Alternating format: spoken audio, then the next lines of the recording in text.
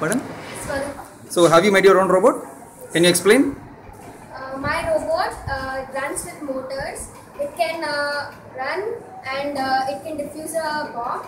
Our main uh, concept was when we uh, some, sometimes it happens that uh, we know where will be the bomb, bomb, but we can't defuse it as there will be uh, danger to our life.